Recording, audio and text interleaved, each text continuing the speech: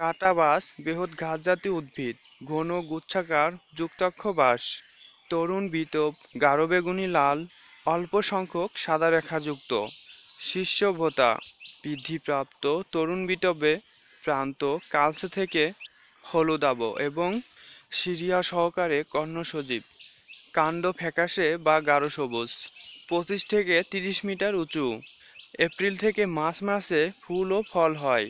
কাটা বাঁশ বাংলাদেশ সহ উষ্ণমন্ডলীয় অঞ্চলে চাষ করা হয়। বন্ধুরা, চলুন জেনে নিই বাঁশ বা কাটা বাঁশের ভেষজ ব্যবহার। এক, গাভীর প্রসাব সংক্রান্ত সমস্যা। আপনারা অনেকেই দেখে থাকবেন যে, গরুর বাচ্চা হবার সময় তাড়াতাড়ি ফুল বেরিয়ে যাবার জন্য দুই এক মুঠো বাঁশ পাতা এনে খাওয়ানো হয় এবং কিছুক্ষণের মধ্যে তার ফুলও পড়ে যায়। এখনও গ্রাম অঞ্চলে গরুর অল্প দিনের গর্ভ সংক্রান্তের জন্য বাঁশের শীষের রস করে খাওয়ানো হয়।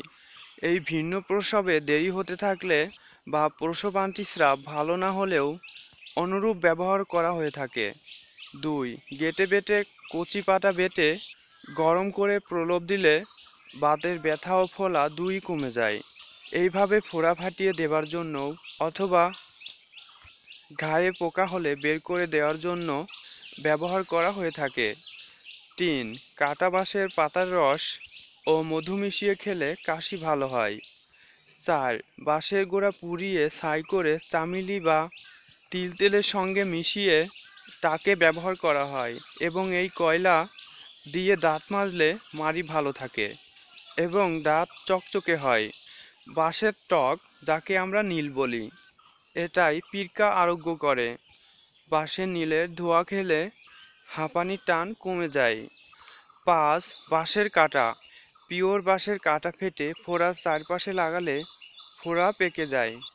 ছয়, কাটা বাঁশের পাতা সিদ্ধ করে খেলে অশ্বরোগ ভালো হয়ে যায়। আজকে এ পর্যন্তই। ভিডিওটি যদি ভালো লাগে একটি লাইক করবেন। আর নতুন সকল ভিডিও পেতে সাথেই থাকুন।